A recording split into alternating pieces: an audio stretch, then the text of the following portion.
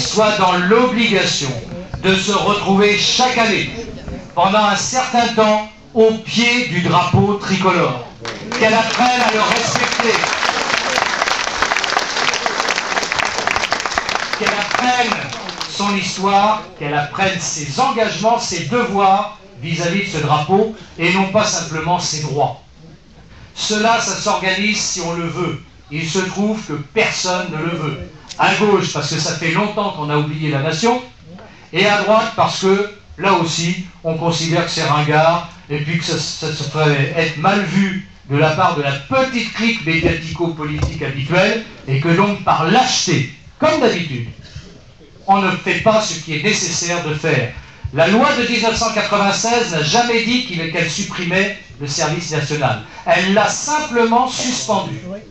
Il suffit donc, dans le cadre de la loi actuelle, d'imaginer. D'imaginer. Moi, j'ai fait une proposition. Elle, n'est qu'une proposition qui ne coûte pas cher. 16 ans, 18 ans, chaque été, 15 jours, 3 semaines, dans les établissements scolaires vides. Du matin au soir, on rentre chez soi, le soir, parce que l'hébergement, tout ça, ça coûte cher, l'encadrement. On commence par ça.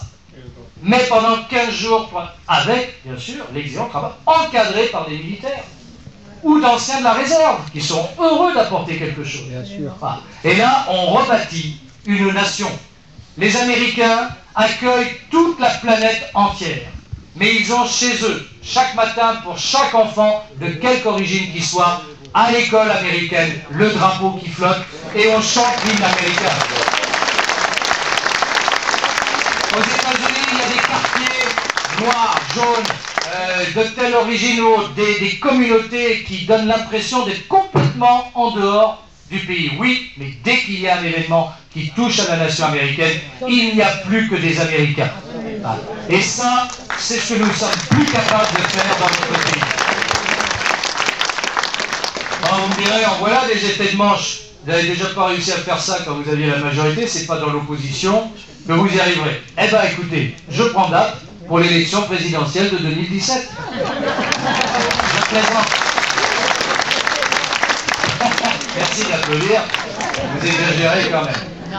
Je prends date parce que dans mes fonctions de parlementaire, que vous m'avez confiées dès 1997, que vous avez renouvelé à chaque fois, je me suis toujours efforcé d'être à la hauteur de l'exigence du mandat de parlementaire.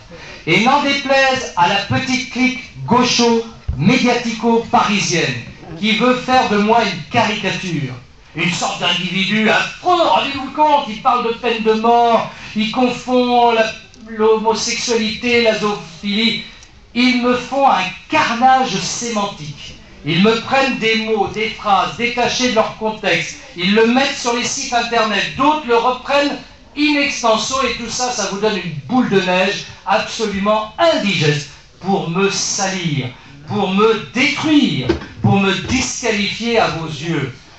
Le plus bel exemple récent, ça a été cette affaire d'un jeu de mots euh, prononcé dans cette pièce où personne n'est parti en courant quand je l'ai dit.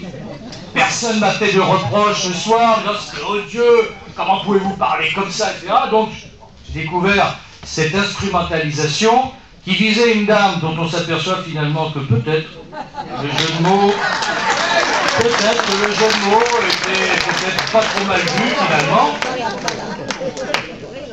Et, et je le répète, moi j'adore les animaux, donc je pouvais avoir aucun, aucune arrière-pensée dégradante. On m'a dit que de comparer un animal c'était dégradant, mais moi je considère que beaucoup d'animaux valent beaucoup mieux que certains hommes.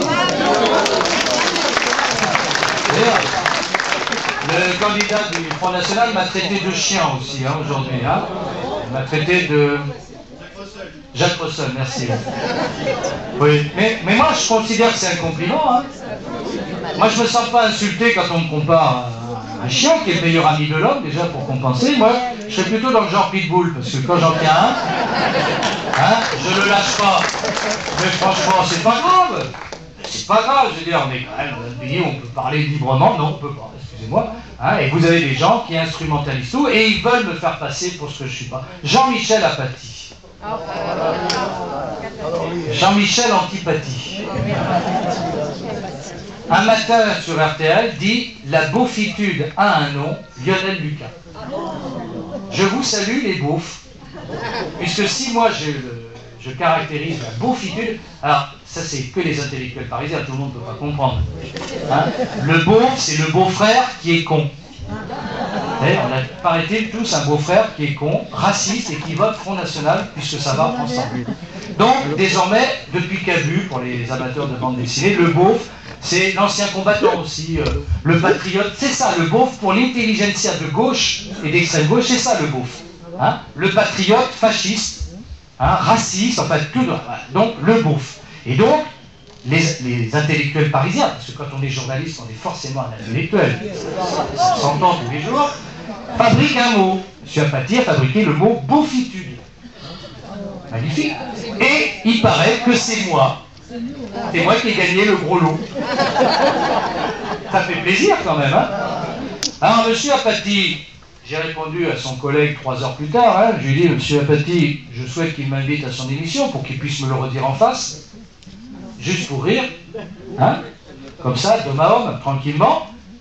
Et puis, euh, quand il m'insulte, moi qui suis un élu du peuple, c'est tous mes électeurs que vous insultez, monsieur. Tout simplement.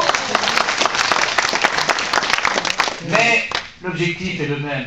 C'est vous démontrer que vraiment, je suis un type pas du tout fréquentable. Pas du tout.